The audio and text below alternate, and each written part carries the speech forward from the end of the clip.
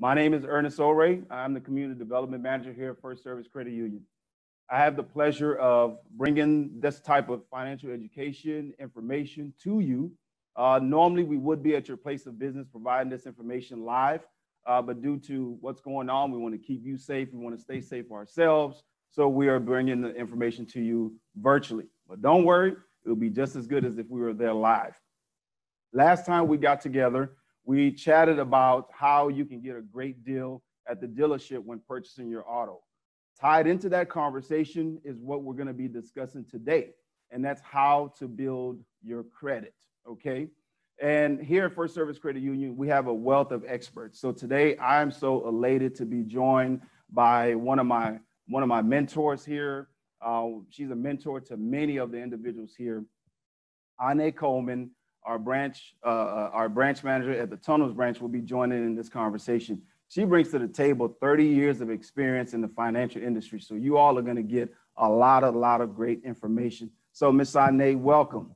Thank you so much, Ernest. And thank you to all the participants today. I'm so happy to be with you today, to visit with you today, and to bring you some information on this much needed seminar. We need to know as much as we possibly can about FICO scores because they affect us in our day to day lives. So, again, you're going to get to know a lot about me because I have a lot of good, good information, a lot of life experiences, both good and bad over the last 30 years, but it's going to be a learning experience from you. You'll take away something that will be lasting with regards to FICO scores. So again, to all participants, thank you so much. Wonderful. So we will be talking about uh, various topics. What is a credit score? Why does why is does my credit score matter? Why does my what what does my credit score mean? Common credit score myths, and how do I gain control of my credit score? So we're just going to jump right into it, Ms. Ané. Let's let's tell the good folks watching uh, what is a credit score. A credit score is a three-digit number that helps the lender to determine risk. The lender can determine or have indicators from this three-digit score as to how much they will be comfortable lending you, what sort of interest rates you will receive, and what sort of risk they're taking on. What is the likelihood of your paying the, the payment or the note back. And again, this assessment is based on your entire credit report. So again, it's a three digit number that determines risk. Okay. Okay, so we're going to start off today with this pie chart. And when you look at the pie chart, you'll see two large areas. We're going to first focus on those large areas. This is so very, very important. 35% of the information that contributes to your FICO score is based on payment history. Now, I don't want you to be fearful of that because this is by and large the easiest, easiest area to accomplish the most points. And we're going to talk about payment history throughout our session today. But just remember the early bird always gets the worm. My personal experience has always been to make sure if your payment is due on the 15th of the month, there are two things that you want to do. You want to make sure that you pay early in the month and you want to make sure you set up automatic payments. So just imagine your credit will be impeccable with regards to this area. If you have a payment that's due on the 15th of the month, but you have your automatic transfer to post on the very first. Another thing that you accomplish, which is so very important, and we at the credit union want to always help our members with this. We don't want you to pay fees. We don't want you to pay any late fees, particularly. So just imagine if it's due on the 15th and it's late after the 5th, if you go beyond that time, you're going to pay a late fee, which we don't want to see that happen. So again, just keep in mind this is 35%, a large area of the pie chart. Make sure you set up automatic payments and you pay before the due date. The next area is credit utilization. Mm. And you'll see again that that's 30% of your FICO score wow. is derived from this area. One thing that you want to make sure of when you have a credit card, revolving credit, I'm speaking of right now, this 30% portion of the pie, always keep that 30% in mind because you don't want that credit card balance to exceed 30% of the credit line. That 30% is a very, very important number. Keep that in mind because it's so very, very important. If you have a thousand dollar credit line, you don't want your balance to exceed three hundred dollars. You don't want your utilization to exceed three hundred dollars. But from an overall picture, take a picture of your entire credit portfolio with regards to revolving credit because lenders look at the, this percentage is calculated in totality. If you have 10 accounts and you have 10 credit cards, you don't want the credit limit on any of, of, of the totality of them to exceed 30%. So that's credit utilization. And also, we do have a chat going on live as well, and our chats are being moderated also. So if you have any questions anytime during this presentation, please put your questions in the chat, and we're going to compile all the questions and uh, answer them at the end, okay? Sorry to cut you off, Ms. Ané. Go ahead. Okay, fine. So our next area uh, is a smaller percentage of the pie is 15%, but always remember it takes 100 pennies to make a dollar. So you want to focus on this area just as intently as you would on the first two areas we discussed. Length of time you have had credit accounts. It's so very, very important to lenders to determine two things not just your ability to pay. That's that your ability to pay is really important, but your willingness to pay. Mm. You could make $10,000 a month and be late on a $25 a, uh, a month payment. That's not a good thing. So the length of time that you have had credits helps the lender to be able to look back and see your willingness to pay. It demonstrates how you've paid others, which is really important. So always remember the very first credit card, the very first account that, that you had, make sure you pay that well and you keep those accounts open. I always use the example that when I went to college, the first credit card I got was a Sears credit card. That credit card I did not really need because I didn't have a sufficient income but I used it. So it was a nightmare in the beginning. But that credit card, I kept it for as for many, many years, decades actually, and it has always been um, a, a, way to keep my credit scores up because it's so very old, and I did um, maintain payments on it in a timely fashion. So another small portion of the pie, but yet very important, would be inquiries or new inquiries. 10% is re- with regards to new inquiries. You don't want to have your credit report pulled unnecessarily. Throughout the course of our session today, we're going to talk about soft pulls, hard pulls, how the importance of, of looking at your credit. But the inquiries that are made on your credit report, just remember a hard pull or, or inquiry on your credit report will remain in your credit report and your credit history for 24 months. Mm-hmm. If there's a negative impact, that negative impact stays there for another 18 months, another 12 months, and then it eventually falls off. So again, inquiries are, are, are, very, very important. And then the lender looks at those inquiries to look at how you are applying for credit.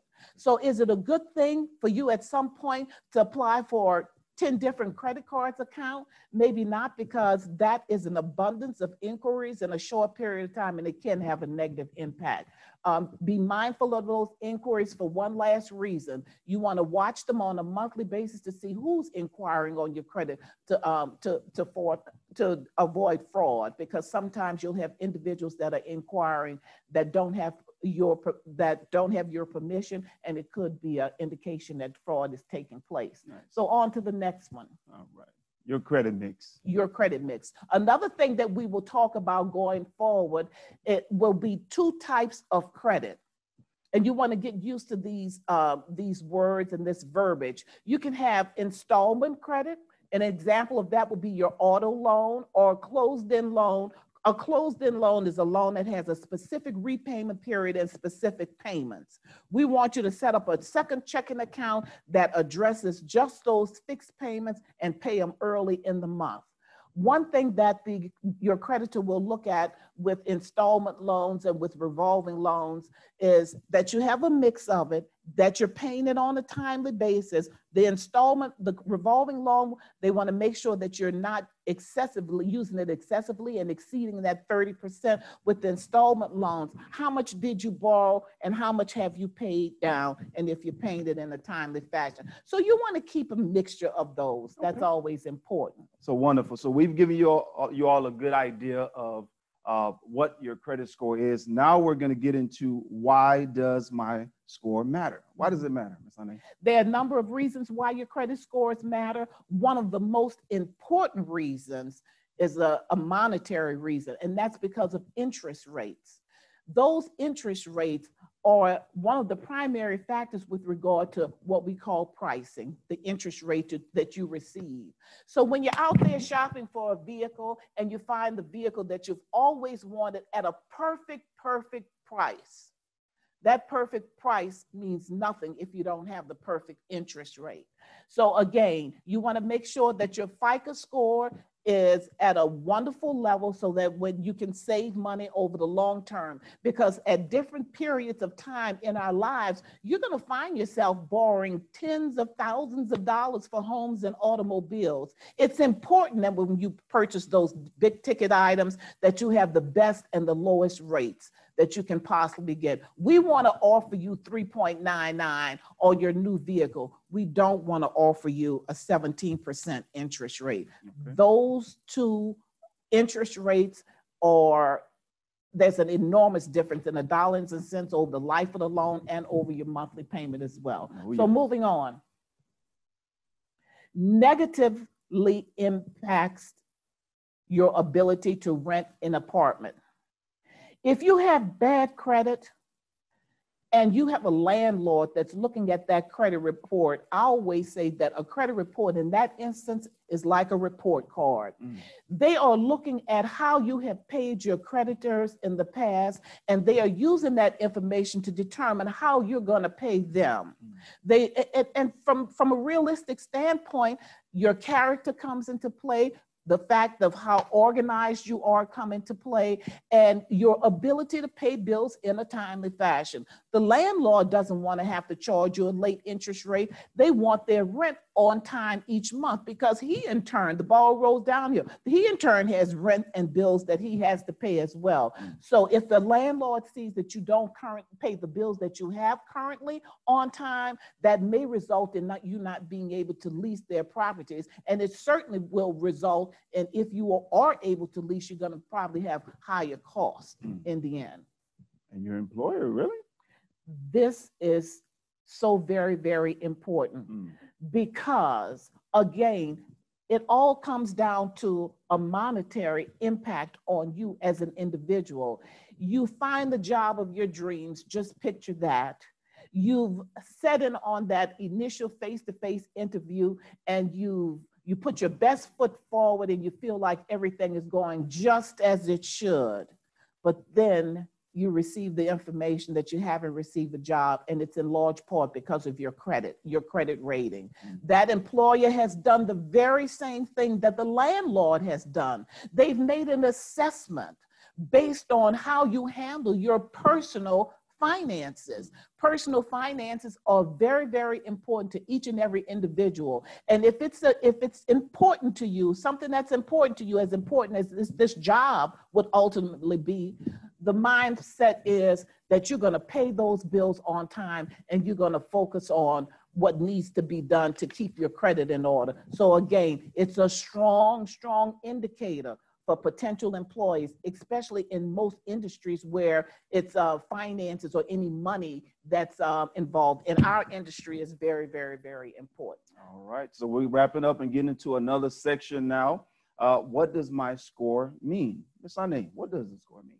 Now we're going to go through this area rather quickly, Ernest, because it's it's pretty much self-explanatory. And what I have learned is most of our members are pretty savvy. Mm-hmm. When they come into our location, they're going to say one of two things. If I ask, "Do you know about what your credit score is?" so that we can kind of give you an in, uh, in, some indication of the rate, most will say, "Yes, this is what my credit score um, is. It's in that range." Most will say, oh no, I don't know. I don't even want to look at it. The mm-hmm. latter, we want to overcome that. Right.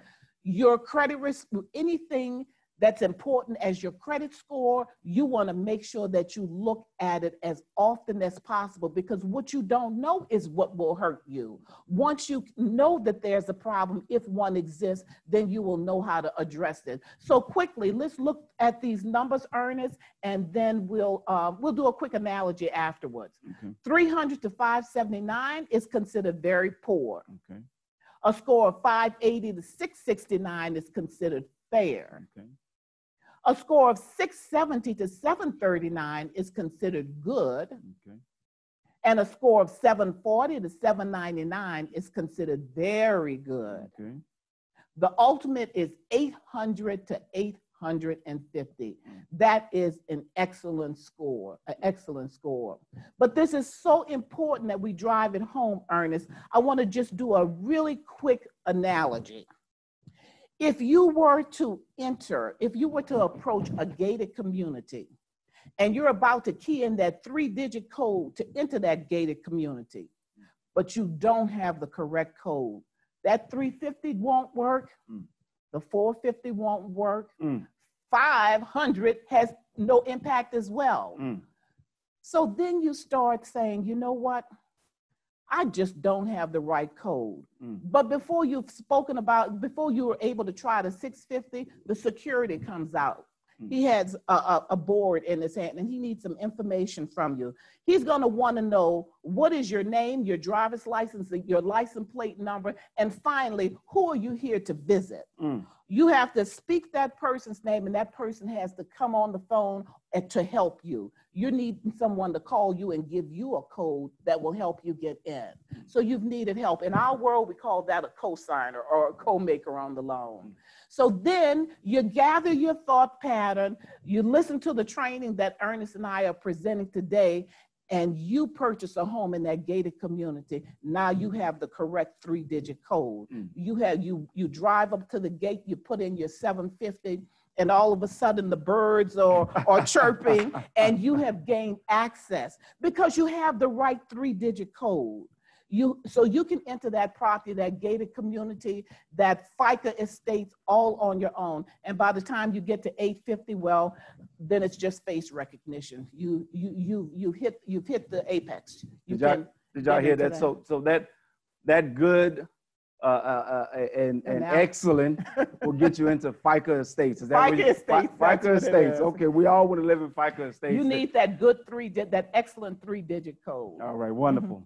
So now we're gonna get into, I, I, I'm- I'm sure what a lot of people want to know, and, and we're gonna get into like the, the meat and potatoes of the engagement today, and that is some, let's start by dispelling some of the common credit score myths. Myth mm-hmm. number one. Myth number one, Ernest, is a pay raise or a better job will automatically raise my credit score. That is definitely a myth because when you look at your credit bureau report, there's no indication of what your salary is. So that has nothing to do with the, the decision that's made Mm. from a credit standpoint because that information is not there. And that information on the credit report allows the lender to make an unbiased decision. Plus, the analogy that I like to use if you have a $50,000 income a year or you have $150,000 income a year, if each individual pays their credit on time, if each individual makes decisions regarding their debt, debt load that's rational and rational and, and reasonable, the impact will be the same. Everyone stays under 30% with the utilization. Everyone pays their debts on time. You're going to see similar scores in that instance. So it's not because of your um, income, it's because of your ability to exercise restraint and learn credit, know how it works. Wonderful. Now, Next. before we go into myth number two, keep in mind, guys, we do have the chat going on. Uh, if there's anything that we touch on that y'all want us to touch on a little bit more in detail, as long as we have time, go ahead and put that in the chat also, along with your questions. Like I said, we're going to have these compiled and we will address those uh, individually the much that we can at the end of the presentation. Okay, so we're going into myth number two now, Ms. Ané. What do you think about that? Okay, a good credit score must mean you are rich. Mm. That, again, is another myth. Again, we will reiterate a good credit score means that you understand credit, you understand the pie chart and the importance of paying your bills on time, staying under the 30% utilization, and having a mixture of credit, all that we discussed in the be- beginning. So it's understanding credit. All right. Myth number three. Carrying a balance on my credit cards will help boost my score. It's not necessary. It may be necessary that you have a credit card, especially in the very beginning when you're establishing credit. And we're going to talk about how the credit union wants to help you in that area when you're establishing new credit. But you don't necessarily need to carry a balance if you initially have a credit card that has a high interest rate because you're a new borrower and you don't have any existing credit, you can use the card, stay under the 30%, and pay your balance in full before the billing cycle. So you've reaped the advantage of having a credit. You have a new trade line, you have a trade line. You've reaped the advantage of increasing your scores because you've exercised discipline and you've kept your balance at 30% or less. And you you just you just totally did away with the disadvantage of the interest rate because you're not going to pay any interest. You're going to set that up on automatic transfer, pay that payment early before the billing cycle, and you're going to avoid the interest. Mm-hmm. So we again, we will help you in that area. All we need to do is to sit you down, get you on the right path, and you don't need to carry a balance on those mm-hmm. credit cards myth number four. It looks like myth number four is going to cost you if you if you actually take that uh, into consideration. there is no need to worry about my score until I am older. We would like you to understand that here at the credit union, we like to start helping our members from the cradle onward. We will initially teach you and as a young person about relationships with the credit union because it's so very important to have a, a membership, have a financial institution that you feel comfortable with. You can pick up the phone, you can call a representative, and you can talk about things that you need to take you through different stages in life, through buying a car and buying a home. We want you to start as early as possible with your relationship. You're already a member of our credit union family when that time comes and you need to become a borrower. So we're going to help you along each area uh, along the way and give you direction. But it's never too soon. If you're, I mean, if you have a credit card, if you need a credit card to start your credit, look at us for that secured credit card because that's going to help you so very much. But no, you don't want to wait till you get older. By the time you get older, you want to have some nice established credit history that tells the tale of your ability to pay and your willingness to pay. Wonderful. Mm-hmm. Number five. Student loans can't affect my credit score, and they most certainly can. A student loan reports to the credit bureau in the same way that any other creditor might report. So, again, when you are applying for credit, that lender is going to look at how much student loan you debt you have, how much the payments are on that student loan debts, and how you're paying them. So again, it triggers, it, it, it uh, affects the scores and it affects the decisioning on the loan Wonderful. just as well. Myth number six. Closing credit cards will help raise my credit score. Woo. If you leave with nothing else today, please recognize that that is the biggest myth.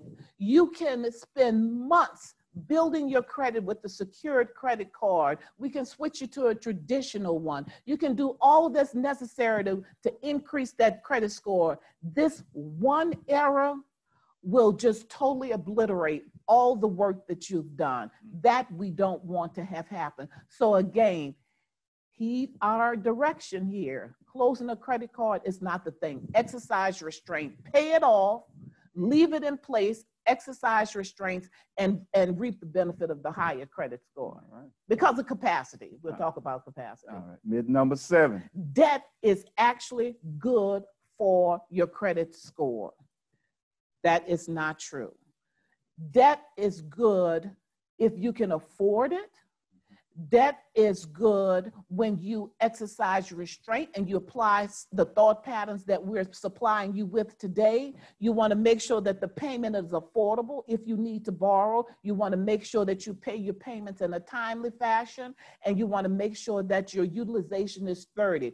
But the most important thing about debt, you don't want any more than you can afford. Recognize what your comfort level is with regards to debt loads and stay within that comfort level. Right. And, and that's a good segue into the next slide, right? Because it kind of it depends on the type of debt that you're taking on, right? right. And that what that's what we call call good debt, right? Mm-hmm. So the the the the next slide kind of talks about that. Go ahead. Yeah, good debt and you can look at all three of these items. Each time in my life when I've sat down to sign on a dotted line for any of these three in any of these three areas, I had a warm and fuzzy feeling. I felt like I was doing something good. My first home, uh, 20, I was 20, 24 years old. And I was just overwhelmed because the rent in the apartment had gone from 350 to 385 a mm. month. That to me, that was astonishing. That was such a big hike.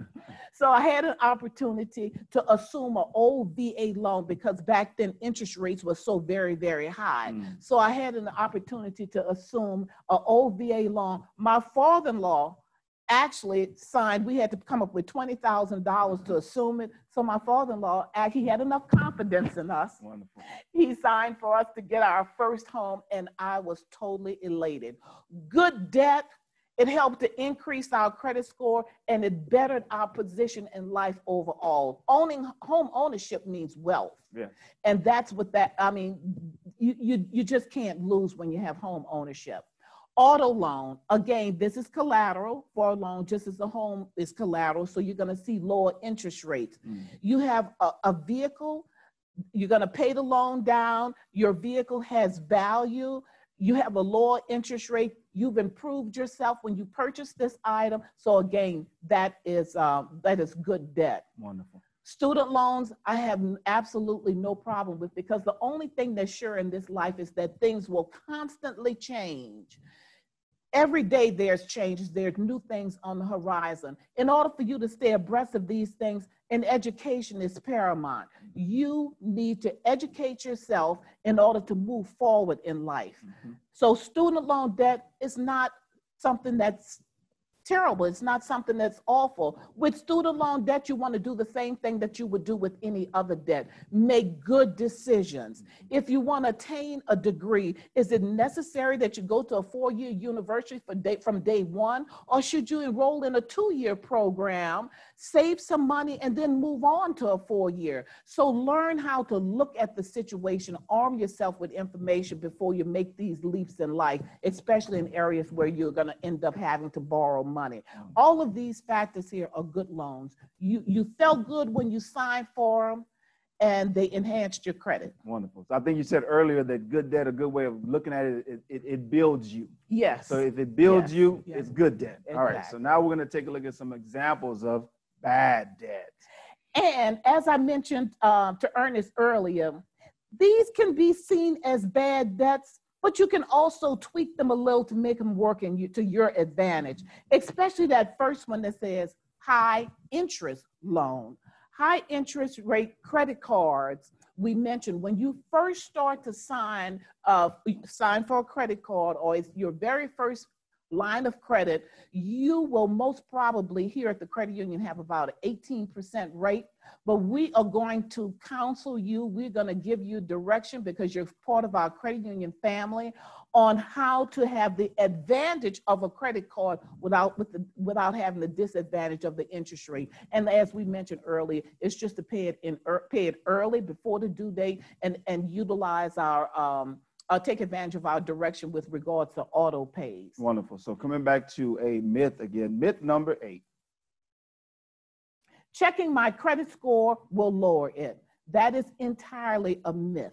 And as we mentioned, we don't want you to be afraid of credit scores or of looking at your credit scores. On the contrary, we want you to have that Experian app on your phone, and we want you to get used to looking at that application even throughout the day. If you're sitting on lunch and you just finished lunch a little bit early, pop up that app, look at the um, the score that you have, look at the score simulator. Just make that a part of your um, your daily routine so that you can stay abreast. Because remember we've talked about how much this three digit score impacts you. It can impact you when you're renting an apartment. We talked about impacting you with a job purchasing an automobile or a home.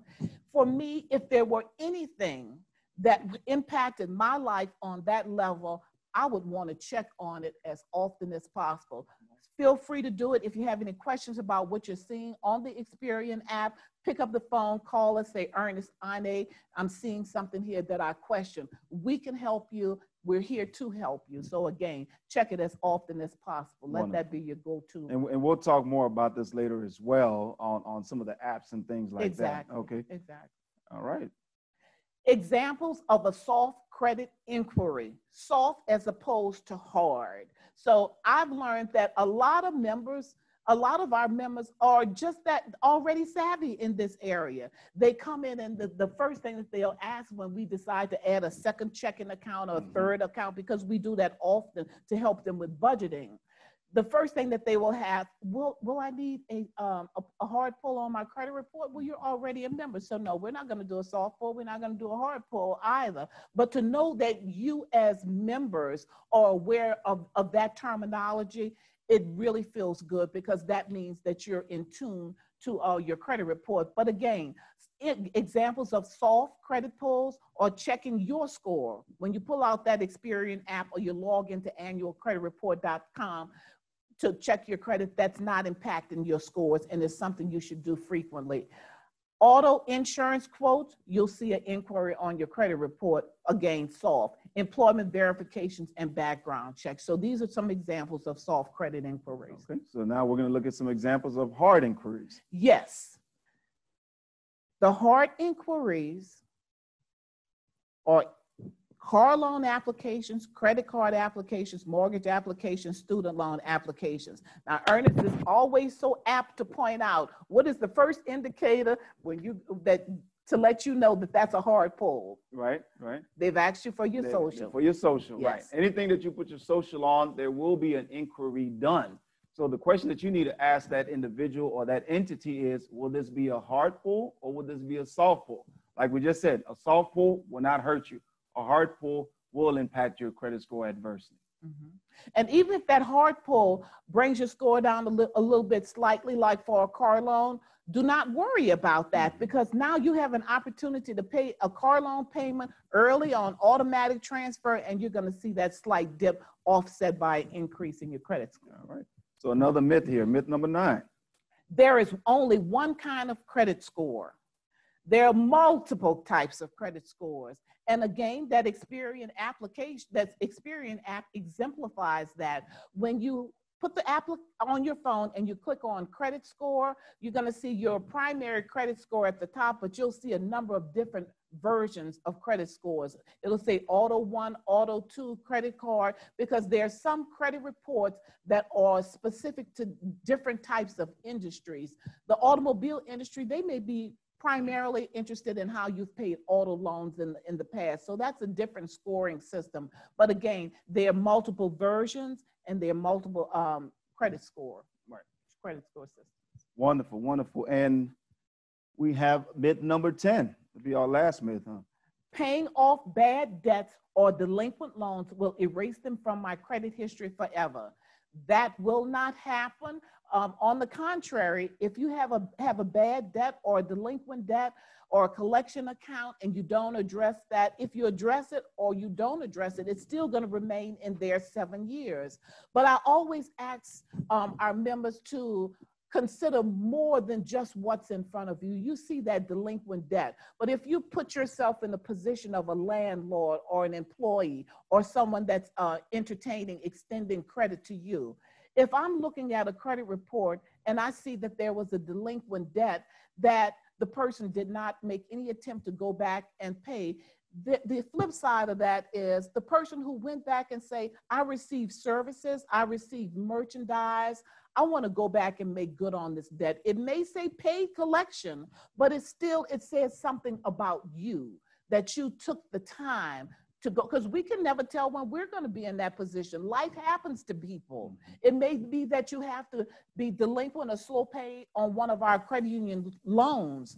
We have found that our members in most instances, will come back to us and say, you know what, this is what happened, but now I'm ready to pay. And of course, we're willing to work with them in those areas. So again, it won't go off, it won't be removed from the credit bureau report for seven years unless it was a mistake that was made by a insurance company or a medical provider. They can take it off, but otherwise, it's gonna remain there. We wanna hear the story. And the story is, I went back and I paid, I made arrangements to pay. All right, so we are going to jump into the next section, but just wanted to add something as well briefly, because we've had questions from individuals that are like, oh, so uh, what about these credit repair places and, and things of that nature? And, and my advice to, to an individual that's approached by someone in that regard is, is, is this.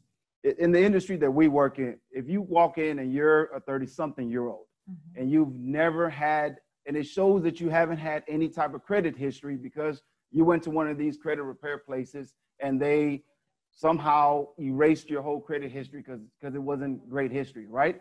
Uh, that's a problem because if you, unless you're you know new to this country or you're new to, to, to, to, to credit period you should have some type of history. So you know bad history is not always bad history because it shows history you know? We we're here to help individuals make better decisions going forward Mhm. um, it, it, it, it, that's the best way to, to, to fix you know the past per se Mhm. right wouldn't you agree I, I certainly do agree. And I always say that no credit is as bad as bad credit. And keep in mind, if you have a creditor, if you're 35 years old and you have a, a, a- a credit repair person that goes in and wipes out all your credit, it doesn't make sense. When we sit down and look at it, or when an underwriter, someone sits down and look at it, that is the one thing that we're looking at. Does it make sense? Does it make sense for you at your station in life to have never had any credit? Probably not. So again, there are ways to address these issues, and we um, we hope that you have the confidence in us to come to us and ask us for the, for the help in that and, area. and, and, and I, I've been a bill collector before, um, and I will say, talk to your uh, uh, uh, collectors. If you're receiving calls from collection agencies, it actually behooves you to talk to them, find out, because a lot of times you can dispel those calls and stop getting them because you know it's it's it's past the date that they can actually do anything to you. So when that phone rings and it's a collection agency or two, go ahead and talk to them. It's better that you know that way you can go ahead and address it than you just running away from it, because running away from it won't won't help you. Okay. All right, so we're going on. How do I gain control of my credit score? Okay. Number one, prevent missed and or late payments by using automatic bank drafts.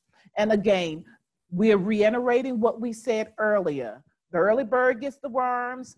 You want to set up multiple checking accounts, have a checking account that's specifically for all of those accounts that are on the credit bureau report. If the due date is on the 15th, set your automatic transfer up to um, have that payment made at the very beginning of the month.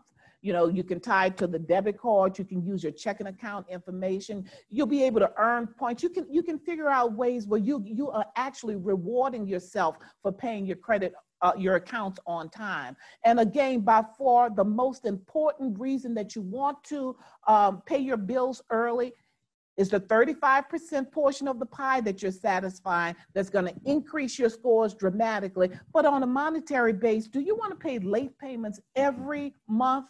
Probably not. We don't want you to pay late payments, so we're going to give you some direction as to how to set up your accounts here at the credit union where you can make sure that you're all, always one step ahead. All right, making gains number two.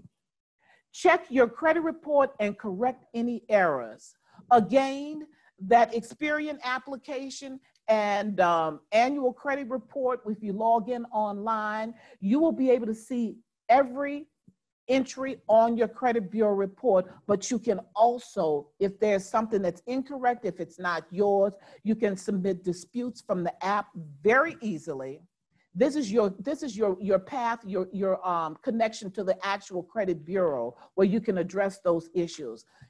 It's best to address them as early as you possibly can. So that's why staying in tune to your credit report is very important. And so it- yes, correct. And in regards errors. to the apps, Credit Karma or Experian, which one do you recommend?